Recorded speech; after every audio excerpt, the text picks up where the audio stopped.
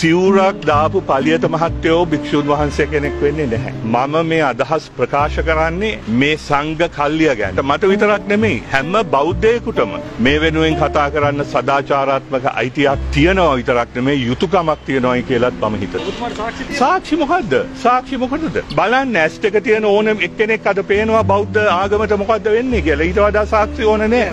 මම මේ නඩු කියන්න නෙමෙයි යන්නේ. මේ නිකන් මේ ඕක කුඩු වලින් ජීවත් වෙන නාලිකාවලට සමහර වෙලාවට මං කියනවා ප්‍රශ්න වෙන්න පුළුවන්. ඒක නිසා ඒ අයට ප්‍රශ්න වුණාට අද මම දන්නවා මේ රටේ බෞද්ධයන් බහුතරයක් මගේ මතයට එකඟයි. මොකද භික්ෂූන් වහන්සේලා ඉන්නේ ශාසනය ආරක්ෂා කරන්න මිසක් රට පාලනය කරන්න නෙමෙයි. වාහනයක් ගන්න සල්ලි ටිකක් එකතු කරගන්න කතා කරන ස්වාමින් වහන්සේලා ඉන්නවා ඒක අද මුළු රටම දන්නවා. වොයිස් කට් එකටත් සල්ලි ගන්න, පුවත්පත් සාකච්ඡාවටත් සල්ලි ගන්න, කුඩු මුදලාලිලාගෙන් ජීවත් වෙන පිරිසක් අද මතුවෙලා තියෙනවා. අන්න ඒ අයට විරුද්ධවයි මම සටන්